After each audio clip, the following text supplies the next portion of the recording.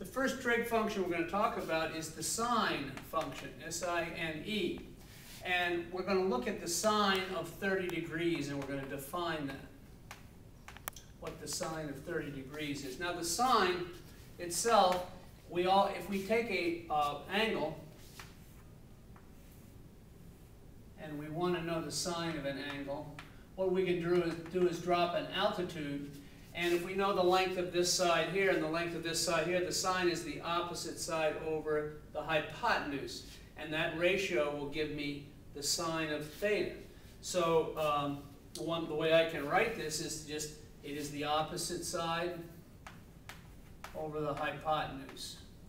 And another neat way to remember that, that's hy, hypotenuse, op over high, is synope,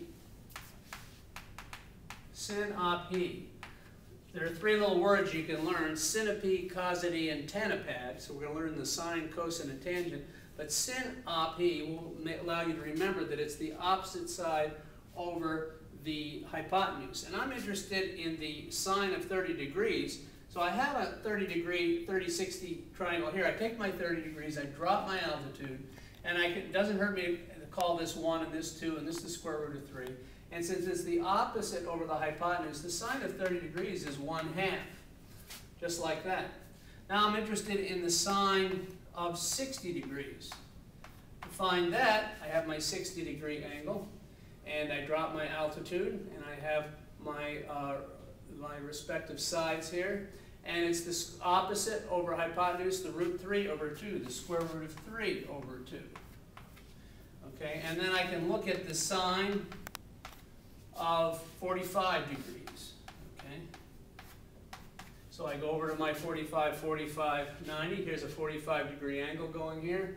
I drop my altitude down here, and this is going to be 1, 1 square root of 2. Call this 1, and so it's 1 over root 2.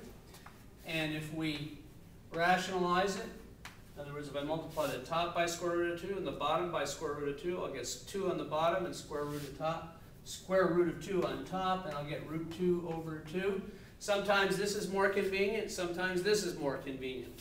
Just depends upon what you're doing it with, but of course if you pop these in your calculator, you get the same number. So sine of 30, 60, 45. Now there's a couple other angles, the 0 degree, uh, 0 degrees, and 90 degrees, which are also considered common angles. We don't have a triangle for those, so we have to invent one. So I'm going to not invent a zero, um, uh, what I'm going to do is that zero degrees would be as if, if the terminal side were laying right on top of the initial side, okay? But I'm not going to do that. I'm going to put it up like this, just a little bit off like that. I'm going to drop my altitude, and I'm going to call that, this is zero degrees. And if this were laying on top of it, an interesting thing would happen. I'd have this side would be zero in length, and these two sides would be equal, so it doesn't hurt to call them 1 and 1. And I call that my zero degree triangle. And now I can look at the sine and say, well, what is the sine of 0 degrees? The sine of 0 degrees, of course, is opposite over hypotenuse, is 0 over 1, or is 0. Now, what do I do with 90 degrees? Well, I have to create a special triangle, a sort of a faux triangle, right? 90 degrees, you can't have two 90 degree angles. But you can, as this approaches 90 degrees, what happens when you drop your altitude is this begins to go to zero. We can call this 90 here. Here's the 90 degree angle. It's really standing up straight, and this line is connected right to that. And these will be the same length, 1 and 1. Now when I do the sine of 90 degrees, I'll try and get it right here. You can move it over a little bit. Synope, opposite over hypotenuse, is 1 over 1 or 1. So these are, are sort of um, false tri uh, right triangles, but they're very useful. In other words, as this approaches 90 degrees, what happens is this side goes to 0, and these two sides become the same length. So there's no harm in calling each one of them 1.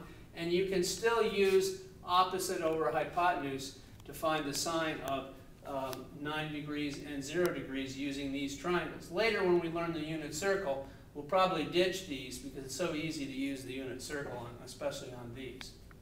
Okay.